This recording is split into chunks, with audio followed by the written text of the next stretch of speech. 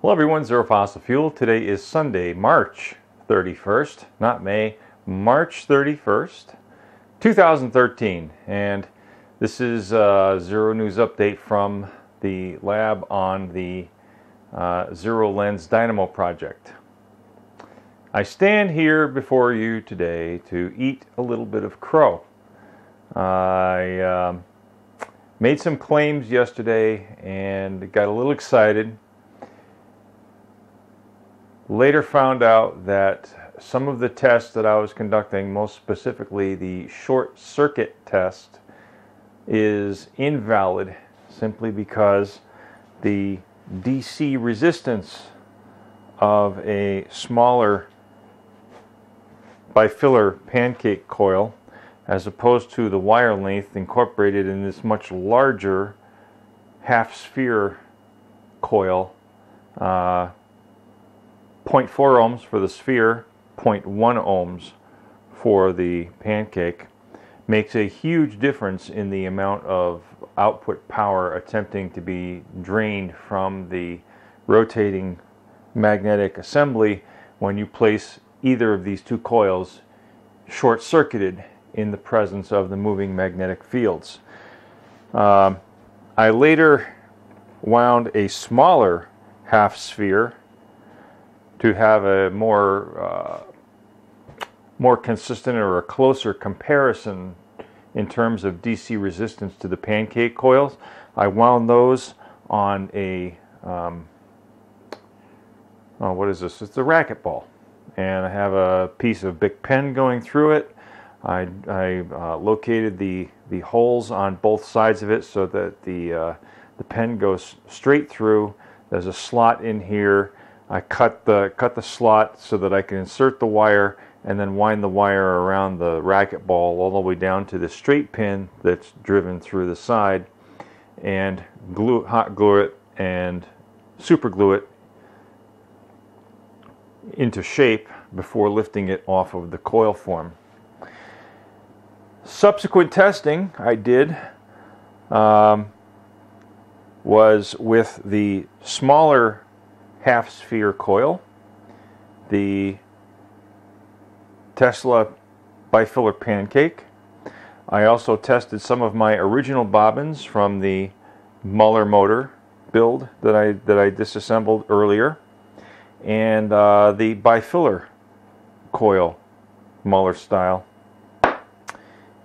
Did a whole battery of tests uh, when I factored in all of the variables, including the DC resistance of the coils, which I forgot to do, uh, I found that uh, they were uh, mathematically and statistically equivalent in terms of the amount of drag.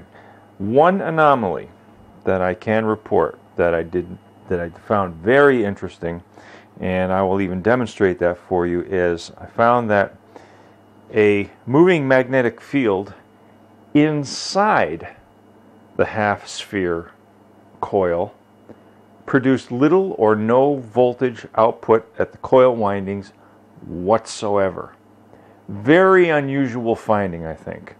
Uh, I would have to, if I was to characterize what happened, I would have to call the inside of the sphere the quiet zone because it literally ignored any moving magnetic fields going past it. The only time I was able to induce a voltage in the coil winding was if I had a moving magnetic field on the backside of the half sphere coil.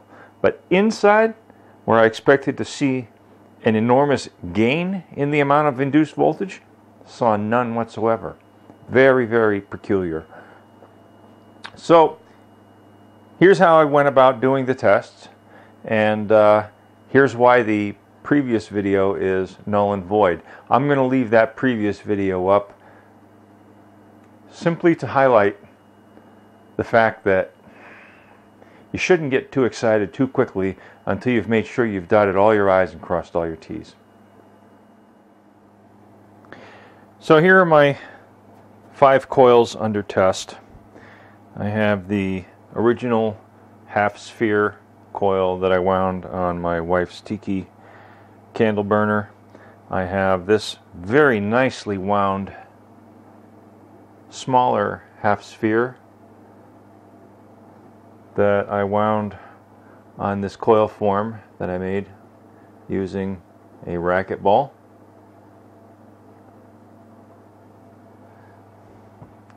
as well as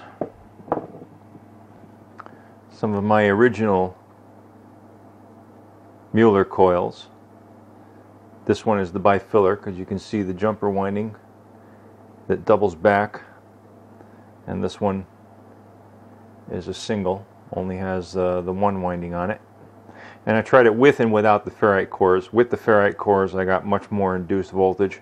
And of course uh, likewise much more induced drag when I short-circuited the coils um, one thing I can note is that I also did not get very much current out of these coils as opposed to any of these other designs, the uh, the half sphere or the pancake. So these are definitely inferior to these, no question about that.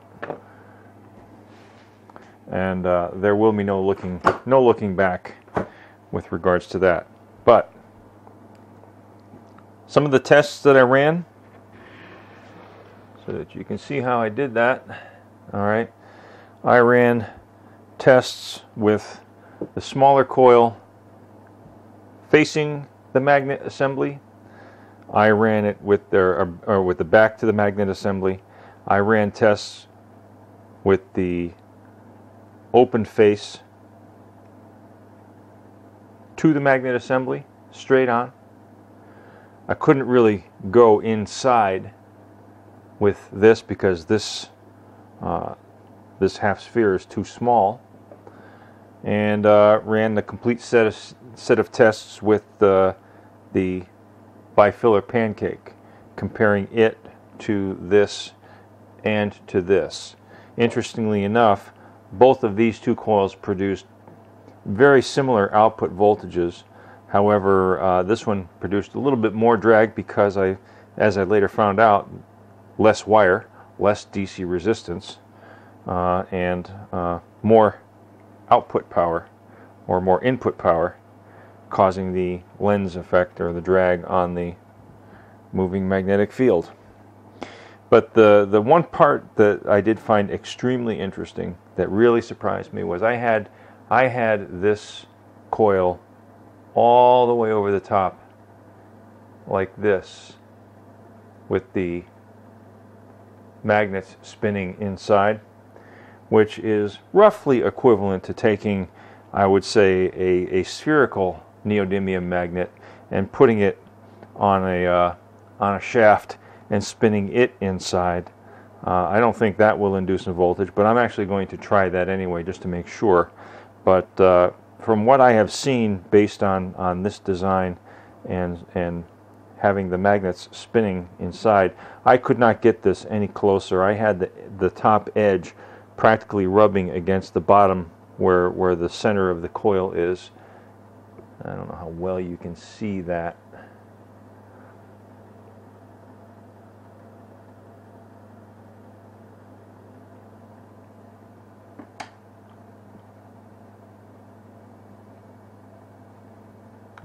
So you can get an idea of just how deep I was able to get this thing inside the coil and um, really very surprising results. I had literally almost null.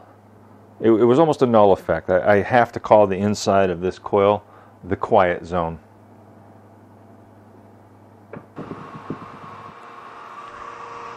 And for the record, here is the actual test with the large half sphere coil. This is with the backside facing the rotating magnetic drum at 7,000 RPM. I get a maximum of about 6 volts peak to peak. This is uh, 1 volt per division.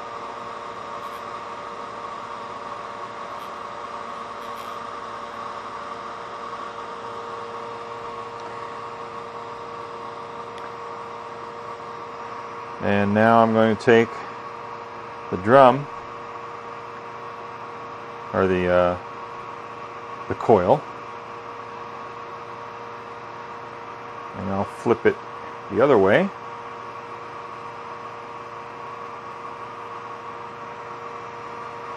And place it over the spinning drum. And you can see this is with the this is with the back side of the of the coil facing the magnets. I get a little bit of induced voltage, not a whole lot. That's only about 2 volts peak to peak.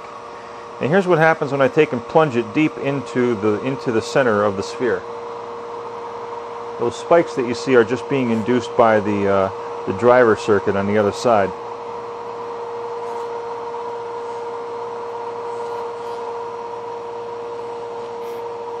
I am way inside here. I'm getting just a smidgen of voltage. But hardly what you might expect with neodymium magnets this strong deep inside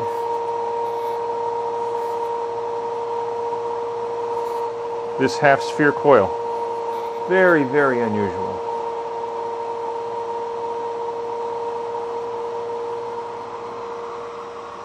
Really unusual. So that's it. The half sphere Wardenclyffe coil. Will it save the whales or feed the hungry? Power your house? Don't think so. Um, at least not in its present configuration. Believe it or not, I still have a number of tests that I want to run on these coils because there are some very peculiar characteristics, like the zero voltage induction with a moving magnet inside inside the uh, inside the half sphere. Really peculiar. So I, I, think that warrants a little bit further investigation. But in terms of uh, the results that I posted in the previous video, you can pretty much ignore those. So, lesson learned crow has been eaten. I take it well done and uh, with a little salt and fresh ground pepper. That's all for now. Zero fossil fuel from the lab. Everyone take care. And as always, peace.